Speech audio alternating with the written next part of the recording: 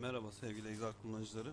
Excel programının en sık kullanılan işlevlerinden biri olan eğer fonksiyonu iç içe birden fazla şarta bağlı olarak hesaplamalar yaptırılabilir. İç içe eğer kullanırken dikkat etmemiz gereken önemli noktalardan bir tanesi kaç tane eğer kullanırsak o kadar parantezi kapatmak zorunda olduğumuzdur. Tablomuzun şu şekilde olduğunu düşünürsek belirli aylarda yapılan firma satışlarında değeri 2000'den düşük olanlara %5 komisyon. Şöyle yazalım. 2000'den küçük olanlara %5 komisyon uygulayalım. Eğer değeri 4000'den küçükse %6 komisyon uygulayalım. 4000'den büyükse de %7 komisyon uygulayalım. Bunun için iki tane eğer şartını kullanmamız gerekir.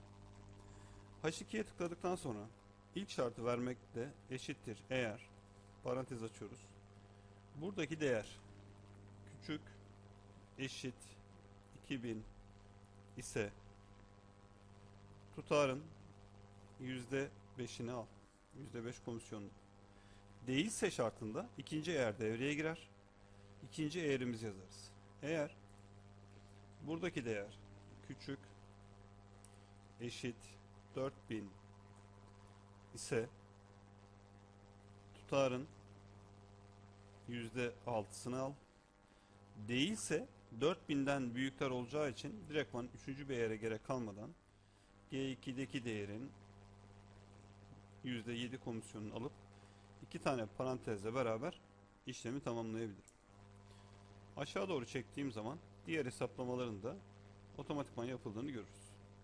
Burada eğerleri kullanırken öncelikle ilk eğerde ilk şartımızı veriyoruz.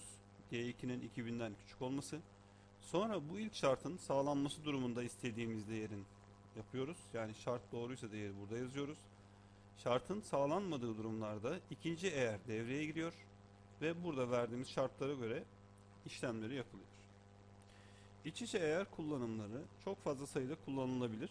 Buradaki yapmak istediğiniz eğer tek sütunda da olabilir, birden fazla sütunda da olabilir. Eğer birden fazla sütundaki eğerleri kullanmak gerekirse o zaman eğeri v fonksiyonuyla beraber kullanmamız gerekir.